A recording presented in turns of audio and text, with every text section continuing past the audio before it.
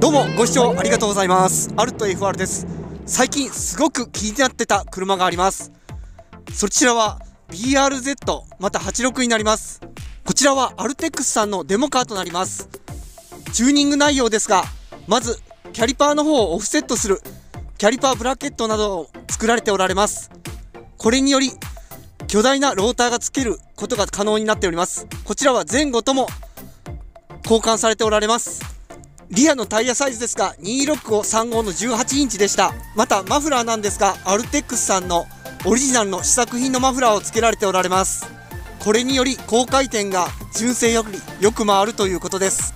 またデフのファイナルなども加速重視にノーマルの4.1から4.6に変更されておられます。ご興味がある方おられましたら概要欄の方にアルテックスさんのホームページを載せております。よかったらそちらの方からご覧になってみてください。それではエンジンルームの方を見ていきます。わあボンネットすごい軽いですね。アルミでできてるんだと思うんですがすごい軽いです。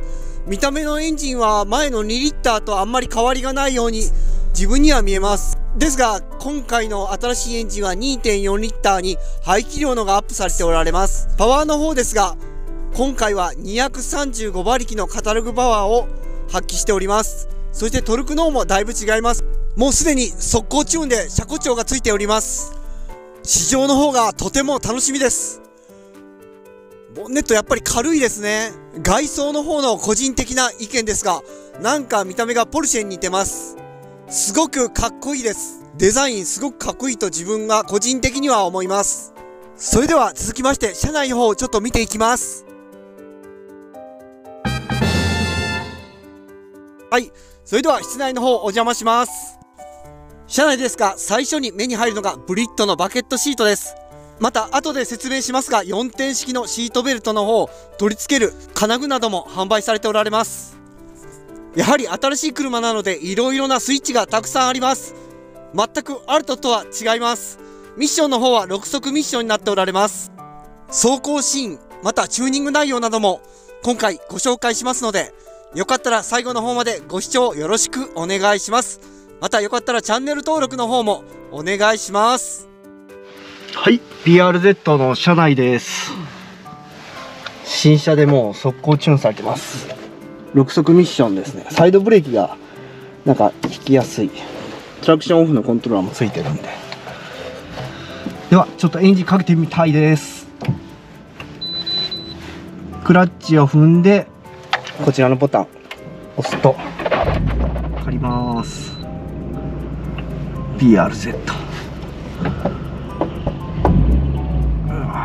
いい音しますね。すごい。ちょっと走ってみたいと思います。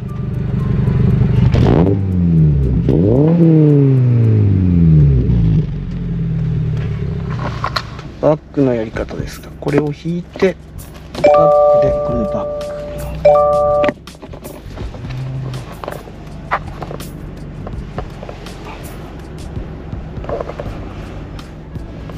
一回カチッてやったらもう合図。が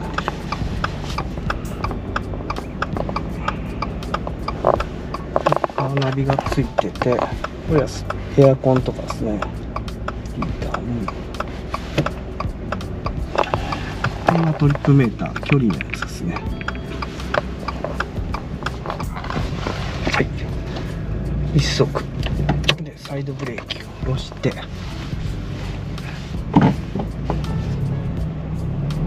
さあ行くぞ！トルクあるなぁ。って思いますね。もうなんかアクセルを踏む必要がない。もうクラッチをスッと離したらもうスッと前に進むって純正よりファイナルをちょっと加速重視になってるということです。何かの流用なのかな。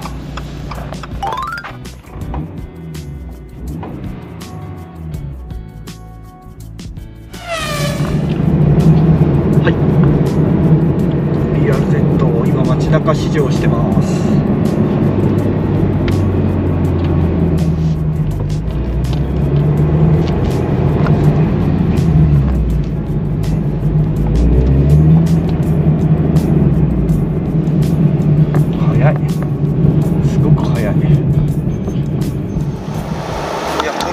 が5速でも結構トルクある。普通にスーッと走る感じ。全然6速入れてみよう。あ6速でももう街乗り普通にできる。すごいトルクある。ブレーキもよく止まりますよね。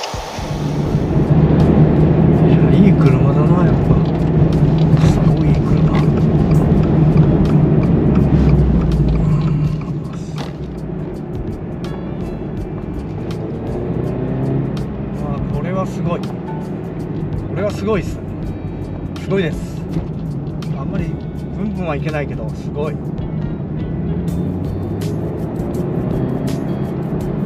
トルクあるな。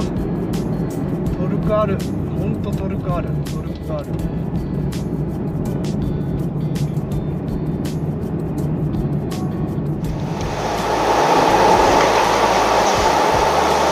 れでも乗りやすいりやすいね。やっぱり乗りやすい。なんか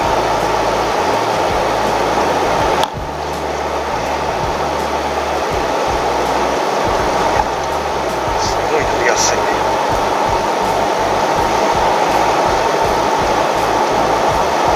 これはすごいないいなとりあえずこれみんな欲しくなるように。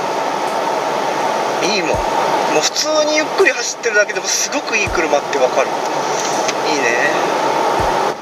あとマフラーが変わってるけど車内の方はそんなにこう静かな感じ。自作品のオリジナルマフラーがついてることなんですがすごいいいです。車内までそんなに音は入ってこないけど。外で聞いてたらすごいいい音。ドアドアを閉める。よしやっぱ閉まりもすごいよ。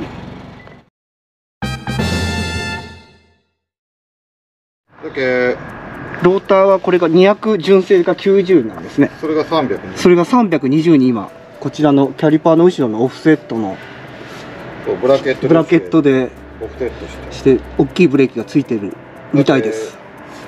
えっと前前型のはい。あのブレンボキャリパー用ローター。あ前型のブレンボのキャリパーのローターがついてるということです。こちらも同じように前型のブレンボのキャリパーのローターの大きいのがついてます。キャリパーをオフセットして外に出して大きいキャリパーついてます。だけどリアシートとか外さずあにリアシート外さずににつけれるよ。つけれる。4点シート。4で点シートベルトですね。はい。ではい。あーこのまほんで、はい。これ結構飛び出とるけどまはい。よい。あ別に座るのに問題ない感じな。んですだけど座ってみて。よあ。あでもこっち座ってみる。あああそうですね。助手席に。はい。ちょっと違和感あるな。だけはい。違和感あったらここだけ外せるんよ。あ回したら外せるんですね。でも座れるのは全然座れますね。だけあ普通こういうの感じで。これをアルテックスさんオリジナルで作って販売されてるそういうことね。はい。うんト助手席と運転席用とああ声つけるあこういうのが純シートの後ろにこうつけれるようになってますこういうブラケットですね。4点用の。ネジで留める純正のネジを流用してつけるですね。そうだなあのあ。フックみたいなのがあるからあ。純正。それをつけて。ちょチャイルドシートよね。それを使ってつける。っと後部座席座らせていただきます。よいしょ。なんか全然座れる普通ですね。え？全然そんなに気にならんです。ちょっと当たるかなぐらいで。まあね。はい。で UJ の季節あコイルが 10Z のオフセット44ファイナルが4.6に変更されてます。96535の18インチです。フロントは263518インチあでもあのタイヤが調整がしたいから内装取ってるああ車庫長とどちらのああえっとスピリット。スプリットの車庫長10キロ12キロ。10キロ12キロ。